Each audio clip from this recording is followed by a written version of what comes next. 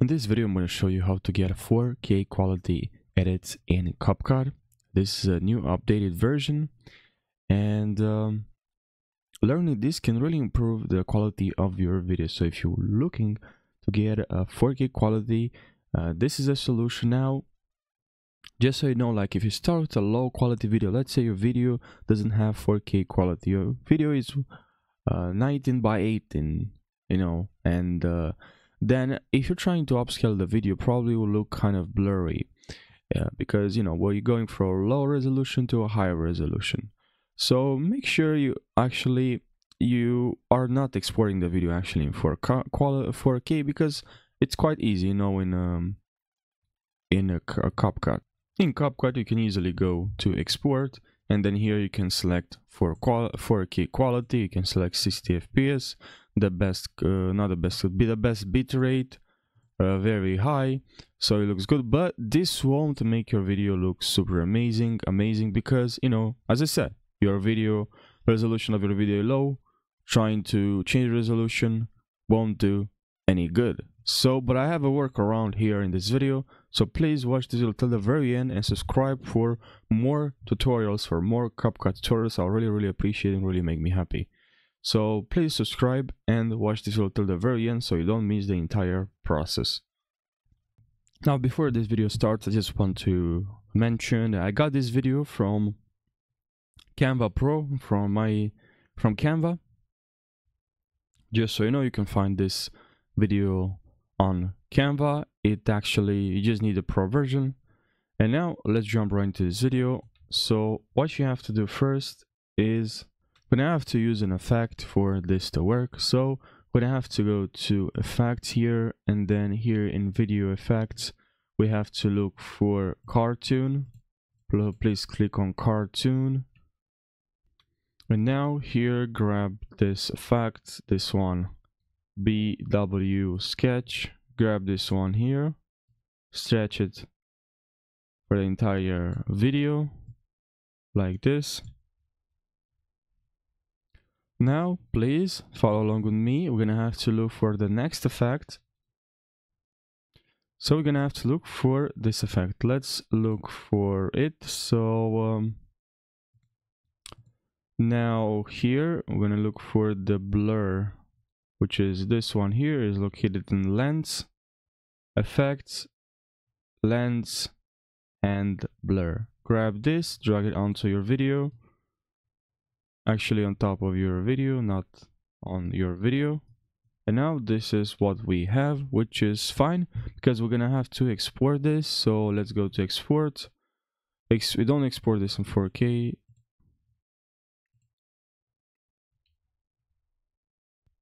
I'm gonna write here CapCut one number one. So I know this is the first number number. We're gonna have we're gonna use this.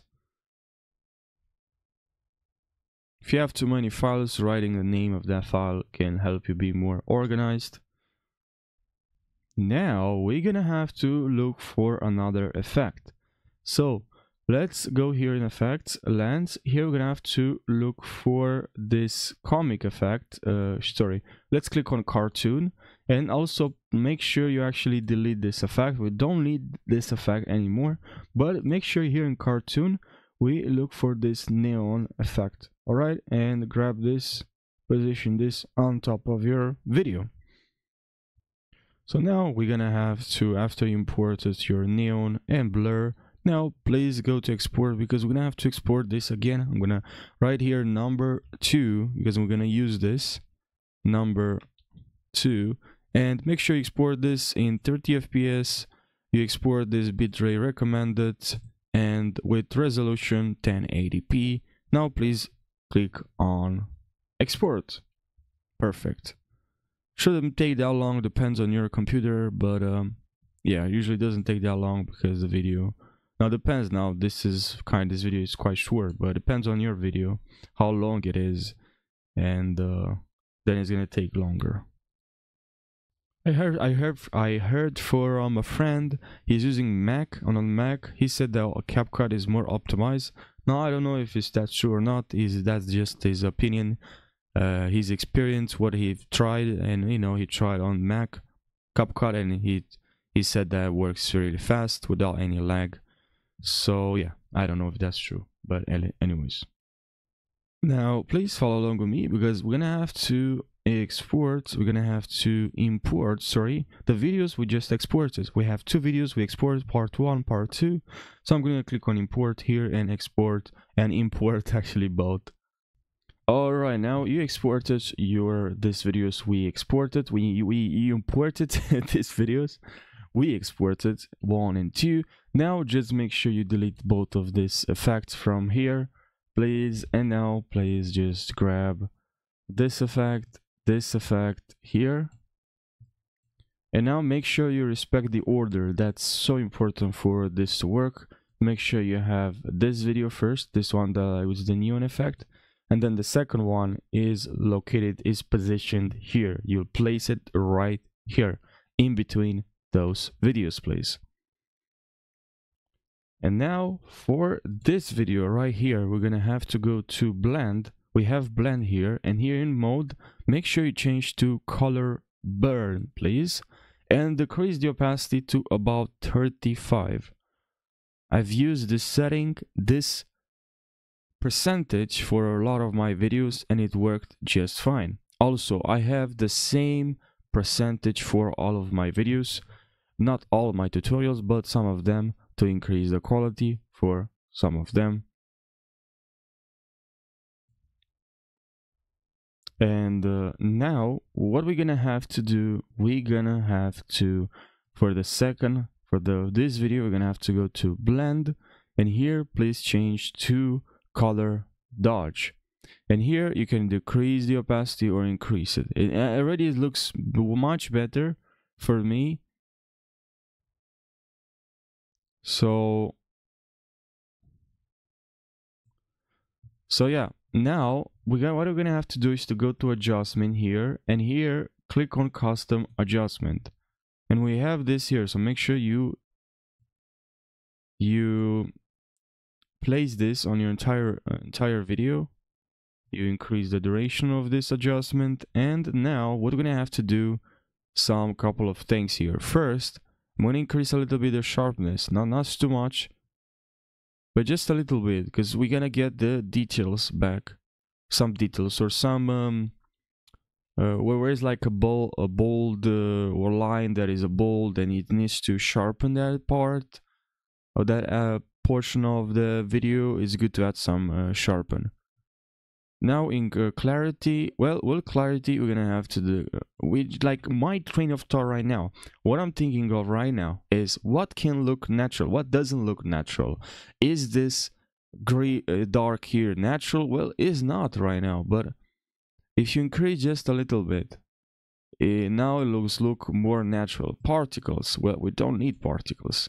Vintage, we don't need vintage. So with this, don't change anything. Exposure, uh, does this um, image right now has uh, less exposure as it should? We should add any exposure right? That's that's what i'm thinking of right now. Well the exposure like this is really bad but like this now about five it looks good. Contrast. Well for contrast we don't really have to change anything. Now we also have curves here and what I'm gonna do I'm just gonna drag a little bit on this side because I need to get the details for this part of the face. And we also can see if it made any difference this one. And it did. As you can see it looks better again. But without of this here in my opinion wouldn't look good. So building this block like this will really make the video stand out. Now the next thing we're gonna have to do after we add all the details here in adjustment here.